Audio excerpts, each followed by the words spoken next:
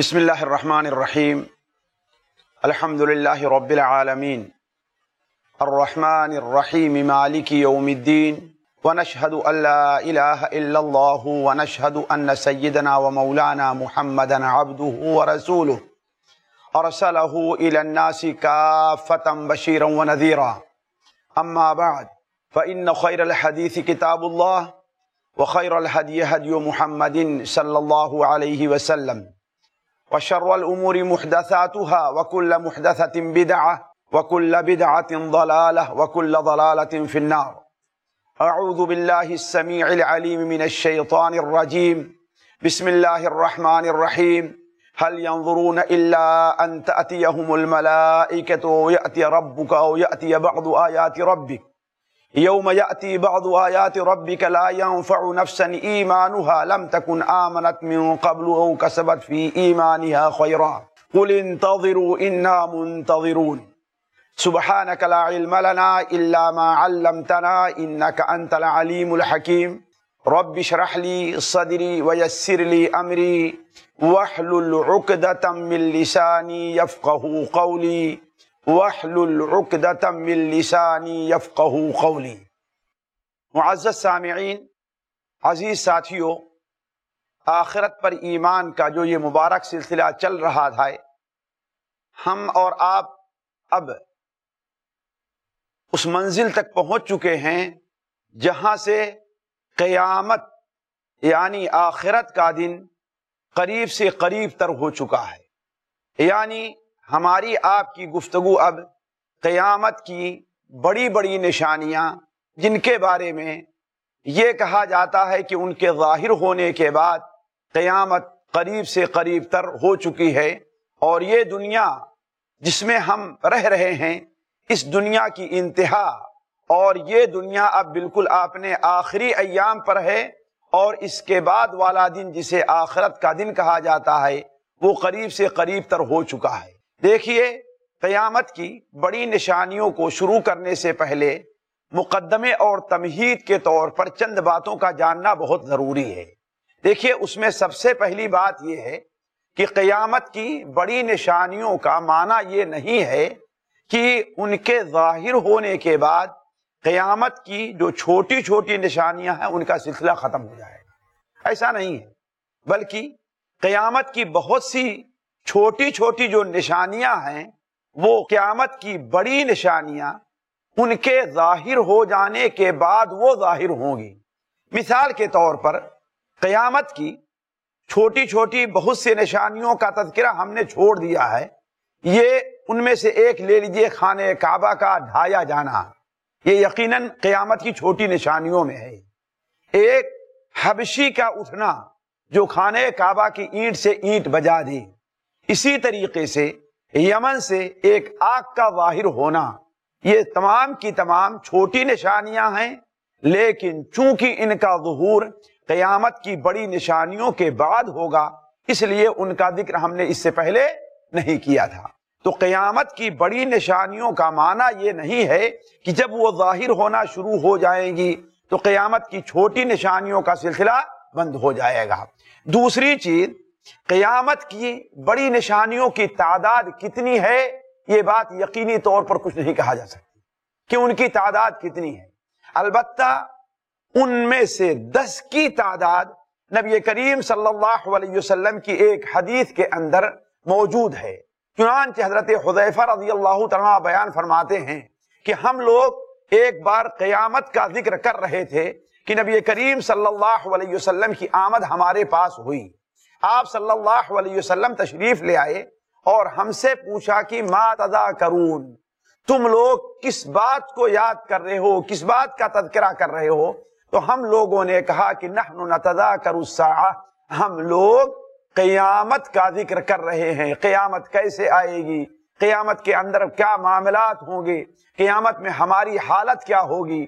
تو آپ صلی اللہ علیہ وسلم نے ارشاد فرمایا انہا لن تقوم حتی ترو قبلہا عشر آیات یہ قیامت اس وقت تک قائم نہیں ہوگی جب تک کہ اس سے پہلے تم لوگ دس نشانیوں کا مشاہدہ نہ کر لو۔ یعنی جب وہ دس نشانیاں ظاہر ہو جائیں گی تو اس کا مطلب ہے کہ قیامت اب آ جائے گی۔ وہ دس نشانیاں وہ ہیں جنہیں متفقہ طور پر علماء نے قیامت کی بڑی نشانیاں قرار دیا ہے۔ چنانچہ آپ صلی اللہ علیہ وسلم نے ذکر فرمایا، دجال کا، دھواں کا، یاجوج ماجوج کا، عیسیٰ ابن مریم کے نزول کا، دابت الارض یعنی زمین سے ایک جانور کے خروج کا۔ اس کے بعد آپ صلی اللہ علیہ وسلم نے مغرب سے سورج کے طلوع ہونے کا ذکر فرمایا اور پھر آپ نے فرمایا تین جگہ بڑے ہی وسیع پیمانے پر زمین کو دھسا دیا جائے گا۔ یا بہت بڑے زلزلے آئیں گے۔ ثلاثت خصوف خصوف فی المشرق، خصوف فی المغرب و خصوف فی جزیرت العرب۔ مشرق کے علاقے میں ایک بڑا زلزلہ آئے گا جہاں بڑے دور تک زمین کو دھسا دیا جائے گا۔ مغرب کے علاقے میں ایک بڑا زلزلہ آئے گا جہاں زمین کو بہت زیادہ دھسا دیا جائے گا اور جزیر عرب میں ایک ایسا زلزلہ آئے گا جہاں زمین دھس جائے گی۔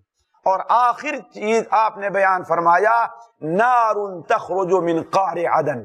عدن کی گہرائی سے، سمندر سے ایک آگ نکلے گی، جو ایک عجیب و غریب سی آگ ہوگی۔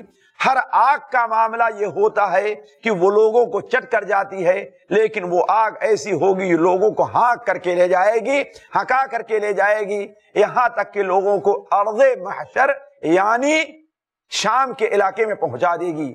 تو یہ دس چیزیں نبی کریم صلی اللہ علیہ وسلم نے ذکر فرمائی جو قیامت کی بڑی نشانیاں ہیں اور ان کا ذکر انشاءاللہ اگلی مجلسوں میں ہمارے سامنے ہوگا۔ اس کے بعد ایک اور چیز ہمیں ذہن میں رکھنا چاہیے کہ قیامت کی جو بڑی نشانیاں ہیں، ان کی ترتیب کیا ہے؟ ان کی ترتیب کے بارے میں حدیث کے اندر کوئی صحیح حکم موجود نہیں ہے۔ بعض نشانیاں ہیں جن کی ترتیب کے بارے میں ہم اور آپ کوئی فیصلہ کر سکتے ہیں۔ لیکن بعض نشانیاں یہ ہیں کہ ان کے بارے میں کوئی فیصلہ کرنا مشکل ہوتا ہے۔ مثال کے طور پر ایک عام دھواں کا آنا کہ ساری دنیا کے اوپر ایک دھواں چھا جائے گا۔ اس سے دنیا کا کوئی فرد بشر بچ نہیں پائے گا۔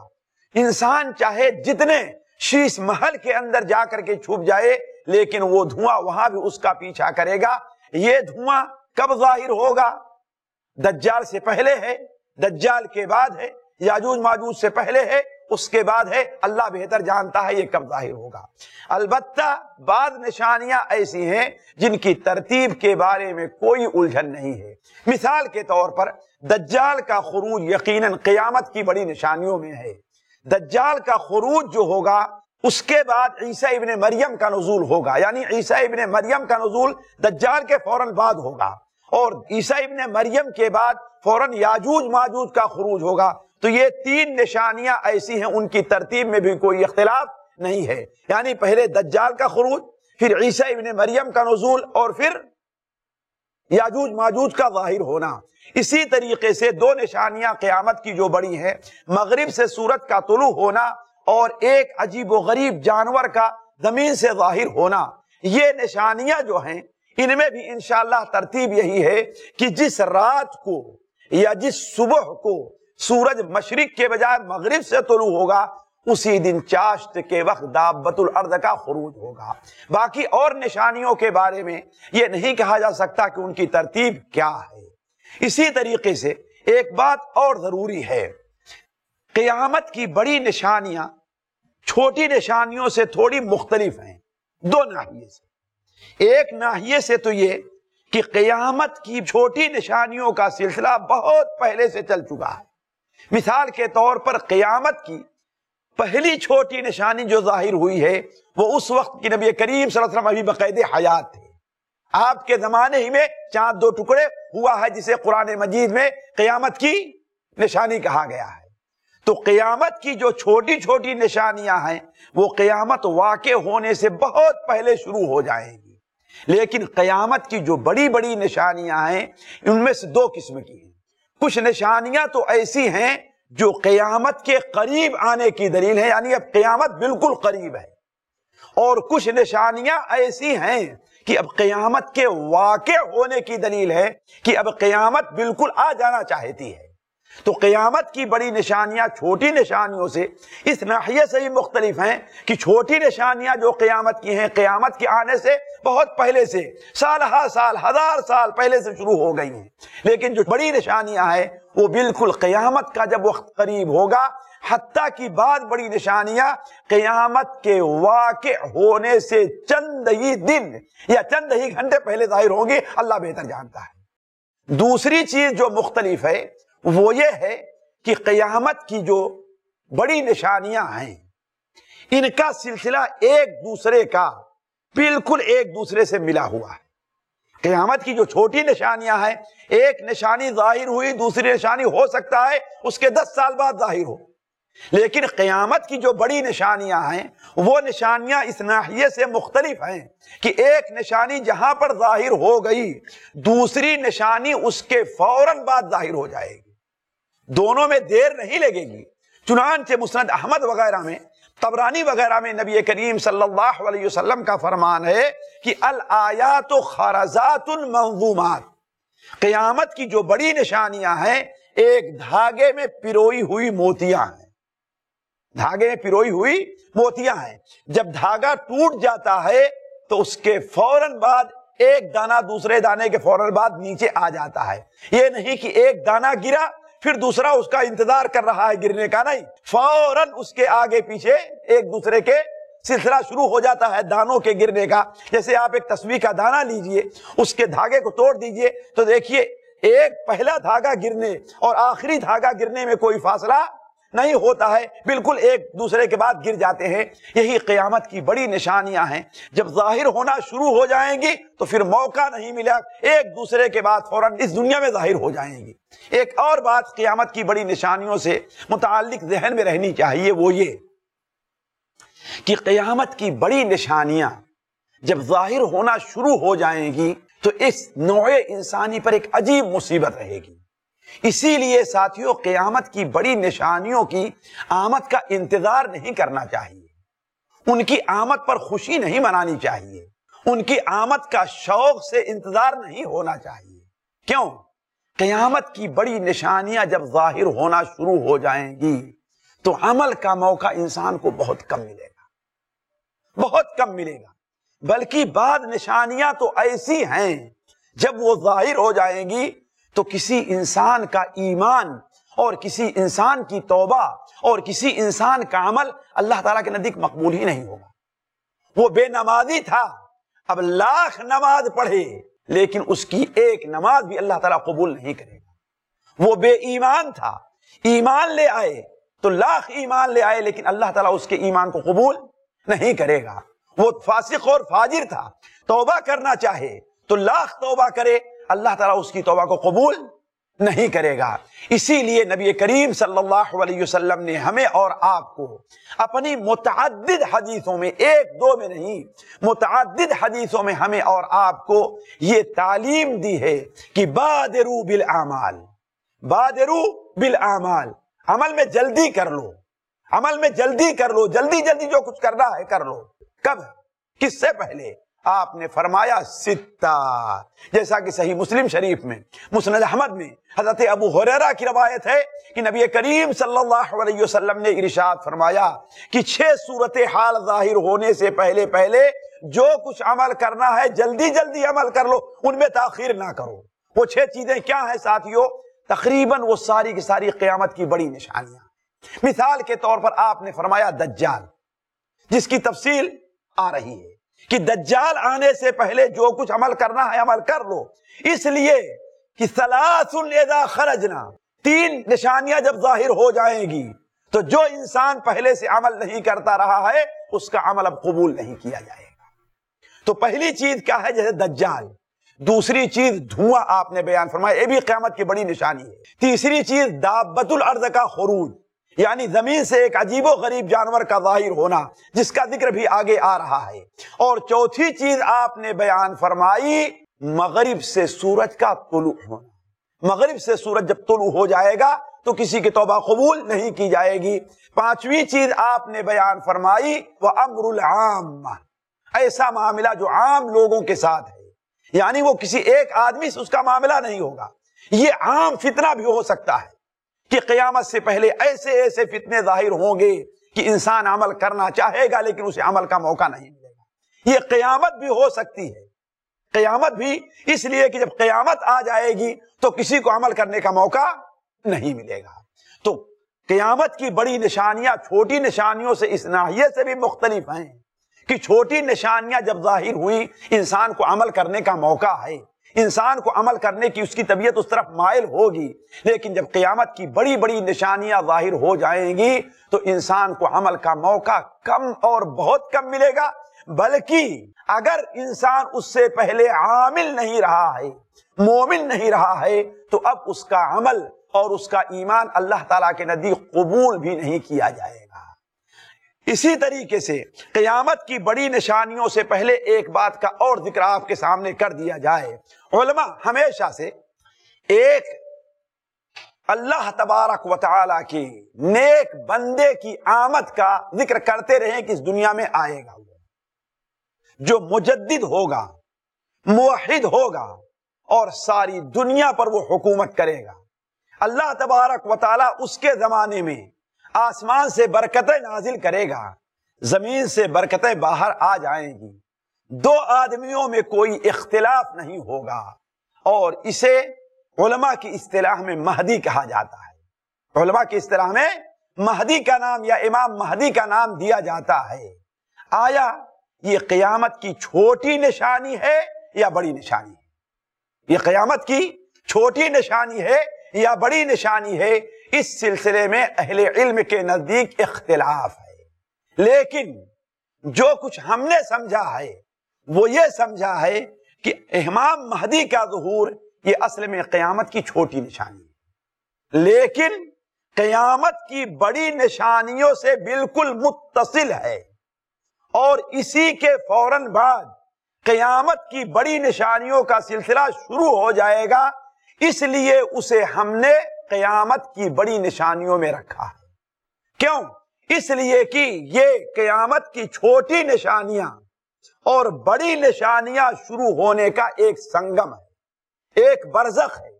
جب مہدی کا ظہور ہو جائے گا تو قیامت کی بڑی نشانیاں کے بعد دیگرے ظاہر ہو جائیں گی۔ چنانچہ امام مہدی ہی کے زمانے میں دجال کا خروج ہوگا۔ انہی کے زمانے میں عیسیٰ ابن مریم کا نزول ہوگا۔ اور ظاہر بات ہے یہ دونوں قیامت کی بڑی نشانیاں اس لیے مہدی کا جو ذکر کیا جا رہا ہے وہ قیامت کی بڑی نشانیوں میں کیا جا رہا ہے۔ اب ہم آتے ہیں اس طرف کی امام مہدی جن کا ذکر کتابوں کے اندر ملتا ہے، ان کے بارے میں حقیقت کیا ہے اور شرعی اصطلاحات کیا ہیں۔ اس لیے کہ اس سلسلے میں دو قسم کے لوگ گمراہ ہوئے ہیں۔ کچھ لوگوں نے امام مہدی کا مطلق انکار کر دیا ہے کہ مہدی کوئی شخص آنے والا نہیں۔ جس میں بہت سے عصر حاضر کے لوگ بھی ہیں اور پچھلے زمانے کے کچھ لوگ بھی ہیں کہ مہدی کا انتظار کرتے رہے ہیں۔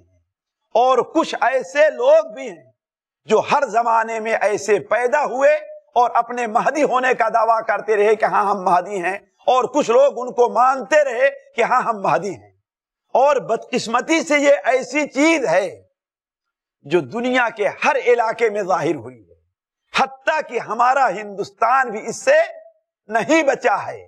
ہمارے ہندوستان میں آج سے چار سو سال، پانچ سو سال پہلے بھی ایک شخص ظاہر ہو چکا ہے۔ جس نے اپنے مہدی ہونے کا دعویٰ کیا۔ اس کے بعد بھی بہت سے لوگ نکلے۔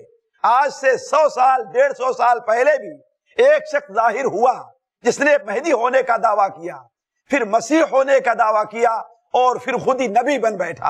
اور آج بھی کچھ ایسے لوگ رہ رہ کر کے دائیں اور بائیں سے آوازیں اٹھاتے ہیں کہ ہاں ہم مہدی ہیں۔ اس لیے ساتھیوں اس چیز کو اچھی طریقے سے سمجھنا چاہیے۔ جہاں تک پہلی بات کا جواب ہے، وہ یہ ہے کہ امام مہدی کی آمد برحق ہے۔ اور آج سے نہیں، صحابہ کرام رضوان اللہ علیہم اجمعین کے زمانے سے یہ سلسلہ چلا آ رہا ہے۔ وقت ہوتا تو میں آپ کو صحابہ کا اور تابعین کا اور تبا تابعین کا وہ نام گناتا جو یہ بات کہتے رہے ہیں کہ ہاں مہدی کا آنا برحق ہے اور یہ باتیں بالکل صحیح سرد کے ساتھ ثابت ہیں۔ تو علماء اسلام، اہل سنت و جماعت کے اندر یہ عقیدہ برابر چلا آ رہا ہے، بلکہ بہت سے علماء جن لوگوں نے عقیدے پر اپنی کتابیں لکھی ہے، ان لوگوں نے اس بات کا ذکر کیا ہے کہ قیامت سے یا آخرت کے بارے میں جن چیزوں پر ہمارا یقین ہے، ان میں یہ بھی ایمان ہے کہ ایک امام ظاہر ہوگا جسے مہدی کہا جائے گا۔ دیکھیے، آگے بڑھنے سے پہلے اس چیز کا جان لینا بہت ضروری ہے کہ مہدی کے ظہور کے وقت دنیا کے کیا حالات ہوں۔ مہدی کے ظاہر ہونے کے وقت دنیا کے کیا حالات ہوں گے؟ کیوں؟ اس لیے کہ جب تک یہ نہ جان لیا جائے کہ مہدی جن ایام میں ظاہر ہوں گے، دنیا کی کیا کیفیت ہوگی، آپ اگر اس کو نہ سمجھیں گے تو کوئی بھی آدمی دعویٰ کرے گا ہم مہدی ہیں تو اس کو آپ ماننے کے لیے تیار ہو جائیں گے۔ لہذا سب سے پہلے یہ چیز جاننا ضروری ہے کہ ہم یہ جانیں کہ مہدی سے پہلے دنیا کے اندر حالات کیا ہوں۔ دیکھیے، ہم نے سالہ سال مطالعہ کے بعد جس نتیجے پر پہنچا ہوں، سب سے پہلی چیز، مہدی سے پہلے اس دنیا میں فطروں کی کثرت ہوگی۔ فتنہ کس کو کہتے ہیں ساتھیوں میں یہ کہہ رہا ہوں کہ اس دنیا میں فطروں کی کثرت ہوگی۔ فتنہ کس کو کہتے ہیں؟ فتنہ کہتے ہیں وہ شریعت کی نظر میں غیر مرغوب چیز۔ شریعت کی نظر میں غیر مرغوب چیز۔ جس سے بچنا مشکل ہو جائے، جس سے بچنا مشکل ہو جائے، لیکن البتہ یہ ہے کہ اس سے بچنا کوئی محال نہ ہو۔ بچنا مشکل تو ہو، لیکن اس سے بچنا محال نہ ہو۔ تو شریعت کی نظر میں ایسا غیر مرغوب امر جس سے بچنا مشکل ہو جائے، یہی چیز فتنہ ہے۔ اس کی مثال میں دوں آپ کو۔ جیسے شریعت نے گانے اور باجے کو ایک فتنہ قرار دیا ہے۔ آج ایسی صورت حال ہے کہ اس سے بچنا مشکل کام ہو گیا ہے۔ انسان اپنے گھر میں رہے، پھر بھی اس سے نہیں بچ پائے گا موسیقہ سے۔ روڈ پر جائے، پھر بھی موسیقہ سے نہیں بچ پائے گا۔ تو فتنہ کہتے ہیں، شریعت کی نظر میں کسی غیر مرغوب چیز کو، غیر مرغوب امر کو جس سے بچنا مشکل ہو جائے۔ تو مہدی کے ظہور سے پہلے اس دنیا میں فتنے ظاہر ہوں گے۔ سیاسی فتنے اجتماعی فتنے، معاشرتی فتنے، معاشی فتنے، ہر قسم کے فتنے ظاہر ہو جائیں گے۔ چنانچہ صحیح مسلم میں، سنن ترمیدی میں، مسند احمد کے اندر حضرت ابو حرار رضی اللہ تعالیٰ عنہ سے مروی ہے کہ نبی کریم صلی اللہ علیہ وسلم نے ارشاد فرمایا بادرو بالعامال فتنا قطع اللیل المظلم. قطع اللیل المظلم، ایسے فتنے ظاہر ہونے سے پہلے پہلے تمہیں جو کچھ عمل کرنا ہے، عمل میں جلدی کر لو۔ وہ فتنے کیسے ہوں گے؟ اندھیری تاریخ رات کے ٹکڑوں کے طریقے سے ہوں۔ یعنی جس طریقے سے آپ ذرا غور کریں، اللہ کے رسول صلی اللہ علیہ وسلم کیا بیان فرمایا؟ ٹکڑوں۔ آپ کسی صاف راستے پر جا رہے ہیں۔ اندھیری رات ہے اور راستہ صاف ہے۔ تو اس کے اوپر چلنا انسان کے لیے آسان رہتا ہے۔ لیکن وہ راستہ ٹکڑے ٹکڑے ہو۔ راستے میں یہاں پر گڑھا ہے، یہاں صاف زمین ہے، یہاں گڑھا ہے، تو اس راستے پر چلنا انسان کے لیے مشکل ترین کام ہو جاتا ہے۔ اسی لیے آپ نے تشبیح دی المظلم۔ اندھیری اور تاریخ رات کے ٹکڑوں کے طریقے سے ہوں گے۔ یسبح الرجل فیہا مؤمنا ویمسی کافرا ان فتنوں کے وقت میں انسان صبح کو مومن ہوگا اور شام کو کافر ہوگا۔ آج آپ دیکھیں تو یہ صورتحال آہستہ آہستہ پیدا ہوتی جا رہی ہے۔ ایک شخص ہے جو نیک ہونے کا اپنے کو دعویٰ کرتا ہے، اپنے کو بزرگ ہونے کا دعویٰ کرتا، اپنے کو بڑا ہونے کا دعویٰ کرتا ہے۔ صبح کو وہ انسان اسے جھوٹا سمجھتا رہتا ہے، لیکن شام کو اس کا پیروکار بن جاتا ہے۔ تو صبح کو مومن تھا اور شام کو کافر ہو گیا۔ بسا اوقات شام کو مومن رہے گا اور صبح کو کافر ہو جائے گا۔ کیوں؟ ایک چیز کو ناحق سمجھتا ہے۔ اور ناحق سمجھتے ہوئے وہ غلطی کے اوپر ہے۔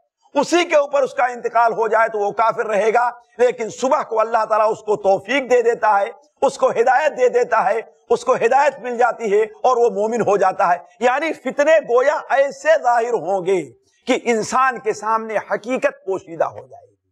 حقیقت کیا ہے؟ وہ چھپ کر کے رہ جائے گی اور اس وقت صورت حال ایک اور ہوگی کہ آپ صلی اللہ علیہ وسلم نے ارشاد فرمایا یبی بے من الدنیا۔ اپنے دین کو دنیا کی معمولی پونجی کی عوض بیچ دے گا۔ ایک مکان ہوگا۔ ایک چھوٹی سی اپنی گاڑی ہوگی۔ ایک چھوٹی سی گلی کا معاملہ ہوگا۔ اپنے دین کو اس کے عوض بیچ دے گا۔ وہ کیسے؟ جھوٹ بول کر کے، جھوٹے دعویٰ کر کے، اپنے کو حق سمجھ کر کے اس کو سمجھ لے گا۔ آج صبح کو وہ سود کو حرام سمجھتا رہا اور نہیں لیتا رہا۔ لائف انشورنس کو حرام سمجھتا رہا، اس کو نہیں لیتا رہا، لیکن ایک شخص آتا ہے اور اسے سمجھاتا ہے کہ نہیں لائف انشورنس بڑی اہم چیز ہے، اس کو مان لیتا ہے۔ وہ کیا ہو گیا؟ دنیا کے معمولی فائدے کے عوض میں وہ انسان کیا ہے؟ اس کو جائز سمجھ لیا تو کافر ہو گیا۔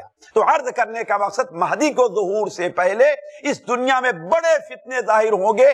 ان میں سے بعد فتنوں کا ذکر ہم آپ کے سامنے اگلی مجلس میں کرتے ہیں۔ تب تک کے لیے ہم آپ سے رخصت چاہتے ہیں۔ سبحانک اللہم و بحمدک، اشہد اللہ الہ الا انت أستغفرك وأتوب إليك.